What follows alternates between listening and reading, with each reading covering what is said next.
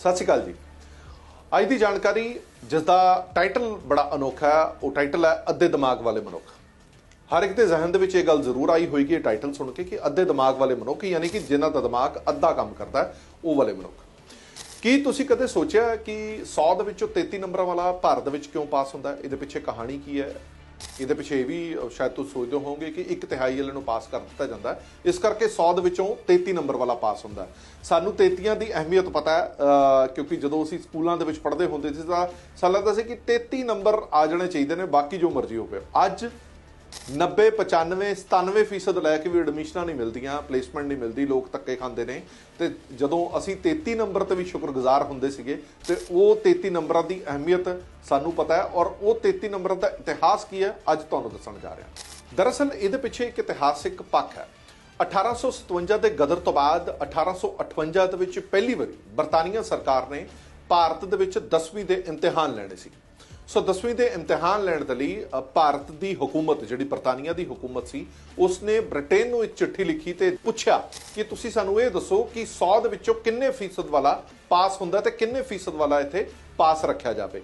ਇਹ ਭਾਰਤ ਤੇ ਬਰਤਾਨੀਆ ਹਕੂਮਤ ਜਿਹੜੀ ਰਾਜ ਕਰ ਰਹੀ ਸੀ, ਉਸਨੇ ਬ੍ਰਿਟੇਨ ਆਪਣੀ ਸਰਕਾਰ ਨੂੰ ਚਿੱਠੀ ਲਿਖ ਕੇ ਪੁੱਛਿਆ।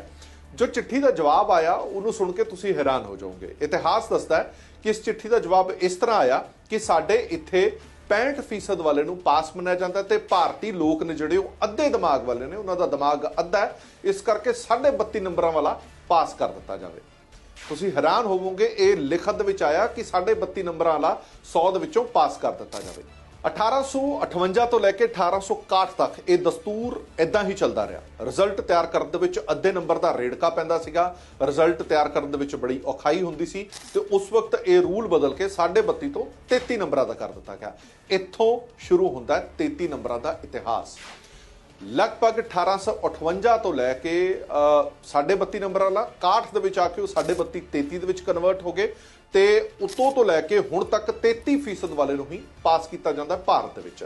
ਭਾਰਤ ਤੋਂ ਇਲਾਵਾ ਬੰਗਲਾਦੇਸ਼ ਤੇ ਪਾਕਿਸਤਾਨ ਦੇ ਵਿੱਚ 33% ਵਾਲੇ ਨੰਬਰ ਨੇ ਜਿਹੜੇ ਉਹ ਬੱਚੇ ਪਾਸ ਕਰ ਦਿੱਤੇ ਜਾਂਦੇ ਨੇ। ਬਾਕੀ ਜੋ ਸੁਣਨ ਦੇ ਵਿੱਚ ਆਇਆ ਕਿ ਪੂਰੀ ਦੁਨੀਆ ਦੇ ਵਿੱਚ ਹੋਰ ਕੋਈ ਅਜਿਹਾ ਮੁਲਕ ਨਹੀਂ ਹੈ ਜਿੱਥੇ 33 ਨੰਬਰ ਵਾਲਾ ਪਾਸ ਹੋਵੇ ਜਾਂ ਤਾਂ 50 ਨੰਬਰ ਵਾਲਾ ਪਾਸ ਹੁੰਦਾ ਜਾਂ 65 ਨੰਬਰ ਵਾਲਾ ਪਾਸ ਹੁੰਦਾ ਸੋ ਤੁਸੀਂ ਇਹ ਹਿਸਾਬ ਲਗਾਓ ਕਿ ਆਜ਼ਾਦੀ ਦੇ ਲਗਭਗ 70 78 ਸਾਲ ਬੀਤ ਜਾਣ ਦੇ ਬਾਵਜੂਦ ਵੀ ਤੇ 1857 ਤੋਂ ਲੈ ਕੇ ਹੁਣ ਤੱਕ ਲਗਭਗ 167 ਸਾਲਾਂ ਤੋਂ ਵੀ ਵੱਧ ਸਾਲ ਹੋ ਚੁੱਕੇ ਨੇ ਤੇ ਅੱਜ ਵੀ ਅਸੀਂ 33% ਭਾਵ ਅੱਧੇ ਦਿਮਾਗ ਵਾਲੇ ਧੱਬੇ ਦੇ ਨਾਲ 167 ਸਾਲ ਬਿਤਾ ਚੁੱਕੇ ਹਾਂ ਤੇ ਹਲੇ ਵੀ ਕਹਿੰਦੇ ਆ 33% ਵਾਲਾ ਪਾਸ ਹੈ। ਤੁਸੀਂ ਅੰਦਾਜ਼ਾ ਲਾਓ ਕਿ ਅਸੀਂ ਆਪਣੇ ਆਪ ਨੂੰ ਹਲੇ ਵੀ ਅੱਧੇ ਦਿਮਾਗ ਵਾਲਾ ਹੀ ਮੰਨਦੇ ਹਾਂ। ਸੋ ਇਹ ਸੀ 100 ਦੇ ਵਿੱਚੋਂ 33 ਨੰਬਰ ਲਾ ਕਿਵੇਂ ਪਾਸ ਹੋਏਗਾ, ਉਸ ਦੀ ਕਹਾਣੀ 33 ਨੰਬਰ ਕਿਵੇਂ ਮਿੱਥੇ ਗਏ ਉਹਦੇ ਪਿੱਛੇ ਇਤਿਹਾਸ। 1857 ਤੋਂ ਗੱਲ ਸ਼ੁਰੂ ਹੋ ਕੇ 61 ਤੇ ਆ ਕੇ ਮੁੱਕੀ ਤੇ 61 ਤੋਂ ਲੈ ਕੇ ਹੁਣ ਤੱਕ ਇੱਕ ਸਦੀ ਤੋਂ ਵੀ ਵੱਧ ਦਾ ਸਮਾਂ ਹੋ ਚੁੱਕਿਆ ਹੈ। 33 ਨੰਬਰ ਸਾਡੇ ਨਾਲ ਹੀ ਚੱਲ ਰਹੇ ਨੇ। ਜੇਕਰ ਇਹ ਜਾਣਕਾਰੀ ਚੰਗੀ ਲੱਗੀ ਹੋਵੇ, ਸ਼ੇਅਰ ਜ਼ਰੂਰ ਕਰਿਓ। ਧੰਨਵਾਦ।